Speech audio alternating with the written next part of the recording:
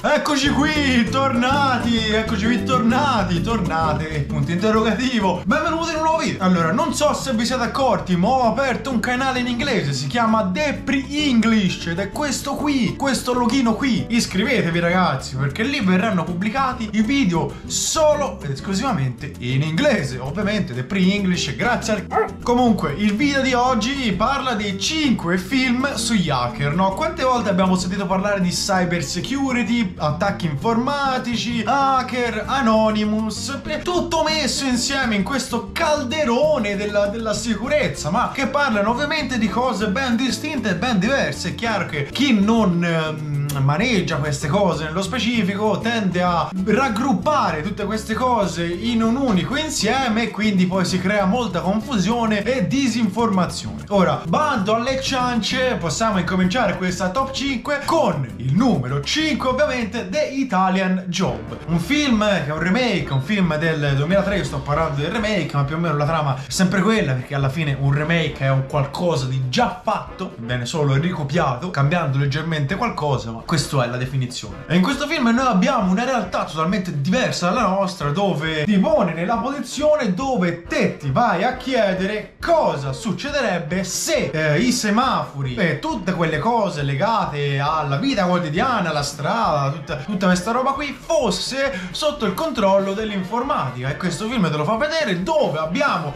il protagonista della banda che per far scappare tutto il resto della banda prende il controllo appunto di questi semafori li fa suoi e grazie a questo riesce a far scappare i suoi amici. Una, una cosa anche qui abbastanza eh, basilare che però se ehm, i semafori fossero connessi a una rete internet, chi è molto bravo a maneggiare internet potrebbe trovarsi in una situazione di vantaggio per il controllo dei suddetti semafori. Ora scusate se parlo come una guida o qualcosa, però non lo so, sono abbastanza preso quando si parla di, uh, di, di queste cose perché sono interessanti, sono sono, fighi. Purtroppo non ho tutto quel tempo da passarci per eh, diventare veramente una persona abile nell'informatica. Ecco, mi piacerebbe. Chissà in un futuro vedremo, ma nel mentre concentriamoci sulla posizione numero 4 con Wargames, un film del 1983, pensate voi, un film abbastanza vecchio. Siamo all'incirca negli anni 80, quando ancora l'informatica si c'era, ma insomma era, era ancora inizio, avevamo i monitor che erano delle cassettone allucinanti allucinanti e questo ragazzo nel film gioca inconsapevolmente una partita contro un'intelligenza artificiale che poi questa partita rischia di diventare reale, rischia di scatenare la terza guerra mondiale. Fortunatamente per il film questo non succede. Posizione numero 3 per Black Hat. Allora, allora io ho visto questo film come ho visto gli altri due e gli altri due non lo da dire. Questo film però è troppo lungo. Due ore e mezzo di durata è eccessiva. Eccessiva ragazzi, davvero. Però è un film carino posso dire che è un film che rispecchia i giorni nostri, rispecchia la realtà di come la cybersicurezza possa andare a, a compromettere la politica mondiale, ed è vero. In questo film Chris Hemsworth è il protagonista,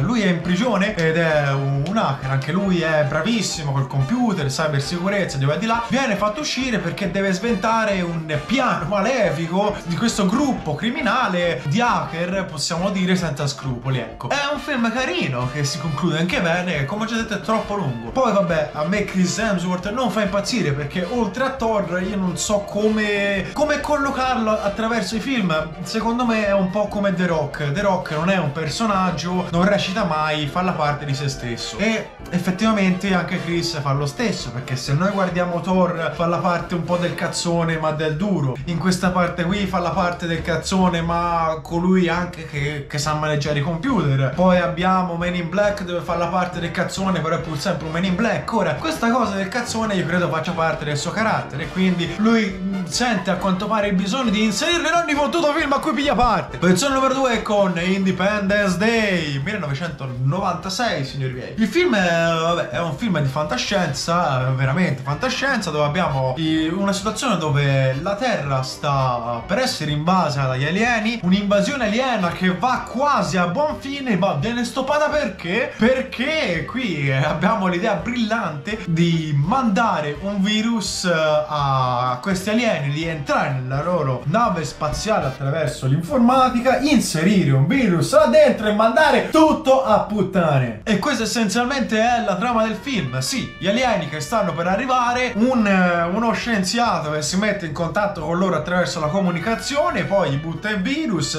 là e se ne vanno tutti. È la prima volta dove un virus salva l'umanità. Effettivamente questo film è una piccola parentesi di quello che fa un virus. Posizione numero uno, ovviamente per il film più hackeroso di tutti quelli che ho citato prima di questo, ovvero Matrix, un film del 1999, un film dove abbiamo come protagonista Kenny Reeves nelle parti di Neo. E ovviamente questo film è basato sul concetto di realtà, cioè quello che noi viviamo, percepiamo è veramente reale oppure è un mondo creato per noi per non farci vivere veramente la realtà di cui facciamo parte, un grandissimo punto interrogativo che trova spiegazioni in questa pellicola mozzafiato che poi ha dato il via alla saga conclusasi con Matrix Revolution che sarebbe il Matrix eh, l'ultimo, il 4 uscito credo l'anno scorso nel 2022 o 2021 insomma in questi ultimi anni. E beh, e beh eh, quindi ragazzi io cosa vi devo dire ancora su The Matrix? Se non è questo il film degli hacker per eccellenza non so non so cosa dirvi ragazzi e direi con questa prima posizione possiamo chiudere questo video dai. Io spero che questo video l'avete trovato interessante magari se non sa cosa guardare se ti garba il genere ma non sapevi mai che film vedere? Questo è un video perfetto per te e noi ci vediamo alla prossima non prima non prima di dire ragazzi la nostra famosa frase la nostra catchphrase del canale quella che sarà stampata anche nelle magliette. E se volete ordinare scrivetemi su Instagram oppure anche sotto il video vedete preparare mai tagliello quello che vi pare vola come una bestemmia punge come una siringa alla prossima ciao